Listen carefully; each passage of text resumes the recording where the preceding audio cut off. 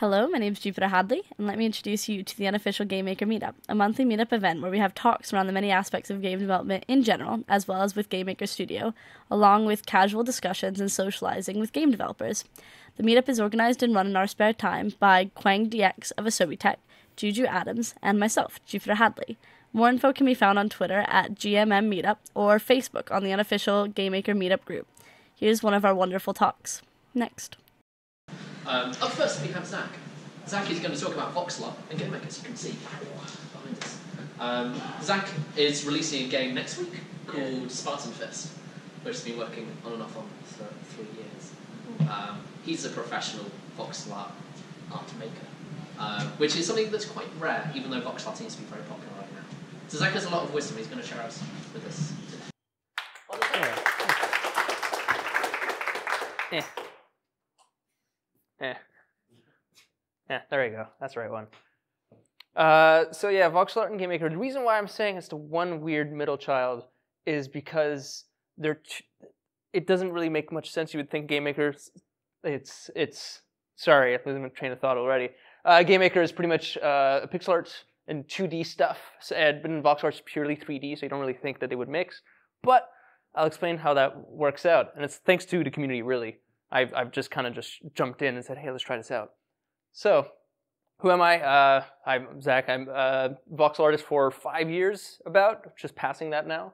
Uh, and, and, I've worked with way too many game engines. Uh, with voxel art, you tend to work with custom engines. That's what everyone wants to do. It's like, I want to make the next big engine that's going to be for voxels. And it's like, please don't. No, uh, it's, there's already enough engines as there is uh, that are supported, and it's just a matter of making those work with what you have. And that's what we're going to be going through today. Um, I've worked, now I work extensively with uh, Unity, Unreal, and now I want to work more with GameMaker, because that'd be fun. Uh, why? I like researching. So for the past five, well, five years, every month I like to do little stints of research on how to make voxel art different, how to find different, like if, if either if it's strictly art, so you would do just something strictly artistic research, or sometimes what I like to do is to do more tech-related research with the art so that I can figure out how to use voxel art in a different way. If I set new limitations, what does that mean for the art itself? And then, so you're going to see results of that with GameMaker as well. And like for a good example of what I'll be doing is what people do with Pico 8. Uh, people have been doing a lot of Pico 8 programming and art with uh, with the 2D engine, and it's nuts because it's and it's kind of funny because Pico 8 also has a Vox, Voxatron, which is the voxel engine, but then they made a voxel engine within Pico 8, so it's like, okay, sure, yeah. If you want to make it complicated, go ahead. And yeah, so we're going to go two ways. We're going to talk about first uh, the technical limitations, so what tech we're using and what's what that entails, and then we're going to go with the artistic limitations. This feeds into this. They kind of go hand in hand. They can only go hand in hand. So yeah, the tech. There's the render tech, uh, and which is what Juju made, called Handy Tools with a few other people. And then there's the SMF 3D skeletal animation. This one I've only learned about in the past couple of days, so I haven't had a chance to mess with it, but the idea is that uh, it's going to make it possible for you to do proper uh, skeletal rigs in GameMaker, which is nice. Though I'm really curious to see what that entails for like performance, because I like we Juju and I tried um, doing it with just frame-based stuff, and that that went pretty well, but whenever you involve a skeleton, it always gets really tricky on performance side.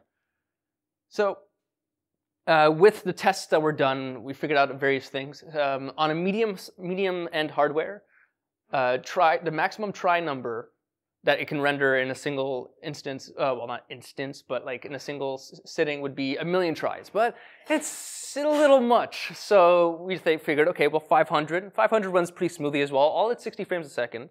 Uh, but then figured the best thing to do is to go as low as possible so that you can set a hard limit for yourself. And then if you want to add anything more on top of that, then that's when you realize, okay, we, we can make it fluffy and beautiful without sacrificing performance. So we're going to go with 100,000 tris.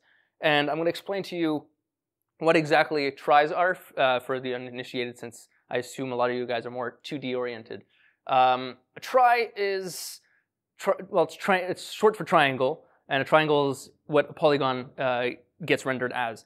Um, but voxels aren't triangles, they're cubes, and they're only rendered as cubes. So it's like, how does that work? Well, originally a voxel would just be a straight up cube and it would be rendered as that and only that and it wouldn't have anything else it would be the 16 the 16 the the various faces and then you would get then you would uh, and then it would render out its own way every engine handles it differently but with the engine as soon as we go in 3d we're to have to cut it so that every face is actually two triangles and that's why if voxel, voxel is rendered in 3d if using a standard 3d engine and not a voxel engine gets painful because you can only do so much until everything just gets sacrificed uh, artistically because of performance.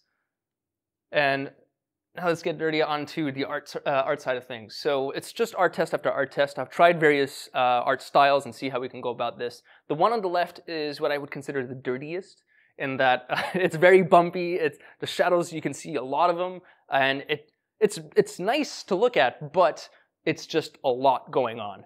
And then we have on the other spectrum something very simple, very clean. And I'm going to go into a fair amount of detail on each of these. So this one, this is how it looks with all the tris rendered. It's messy. It's, it's I think it's awful in terms of, of how it, I would not want to make a game that looks like this on the back end because uh, it would just hurt my eyes. But uh, yeah, so it's as I, as I said here, it's painful and most likely unusable on the long term. You can't really expand on that. If the one scene itself has 26,000 tris, and sure, that's not really much, but when you look at it on the, the larger end, when you start adding in uh, proper shadows and you start adding in all the render tech around it, it gets extremely expensive.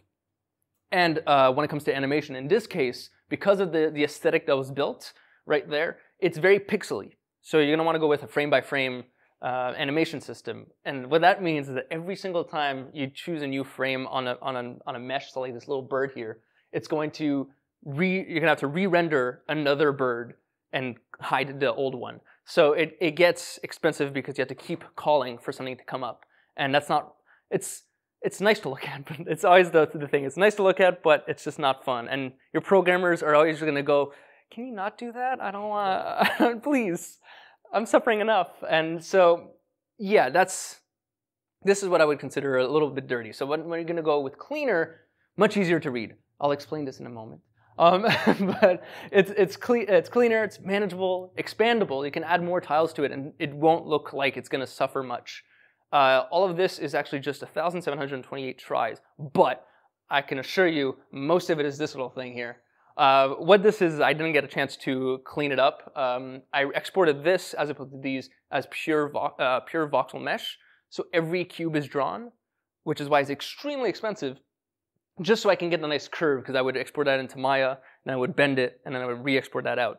There's, already, there's, there's a way to clean it up so that it can be reduced, and it can be reduced fairly significantly. So I can, bring, I can easily bring this down to somewhere around 600 tris, which is fantastic because in, in, an engine like GameMaker, which I wouldn't say is ideal for 3D, it you, you kind of want to be as lenient as possible with performance. So the lower the tris you have, the better. So the engine itself can handle it uh, as optimally as possible. And yeah, so those those are the extremes for various reasons. They're both below 100k, but why one over the other? It's it's really a, a question of your art, artistic preference but I like to put performance over uh, over the artistic preference strictly for the performance because players uh, as a game in a medium of games you need to take that as a priority because players are going to want something smooth something uh, like fun to play all the way through. You don't want them to start suddenly getting drops and it's it's no longer enjoyable regardless of how good the game looks. So that's why I had those two extremes. You can find somewhere in the middle. I think that's perfectly fine.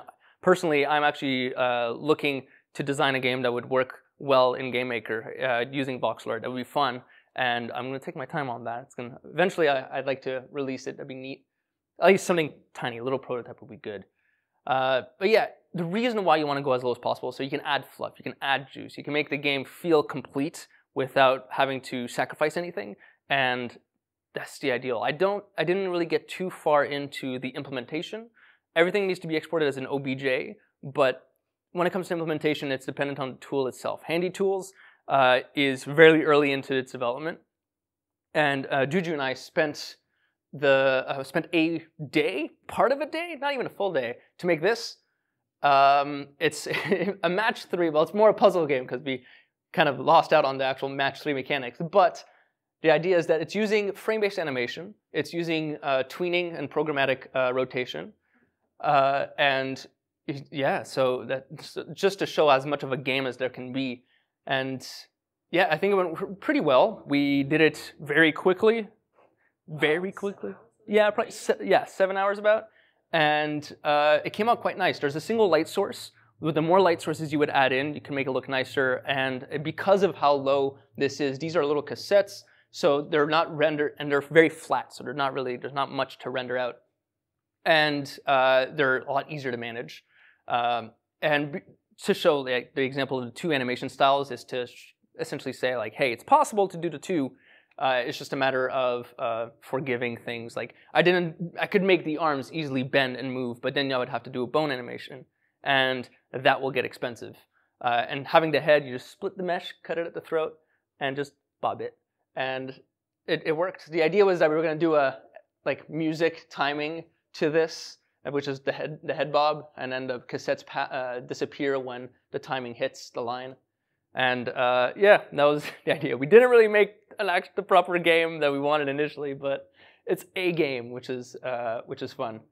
But yeah, hopefully this could feed into people using voxel art with GameMaker. I'm going to do more research with it and try to make little projects with it down the line. But hopefully that helped everyone out because uh, that's pretty much it.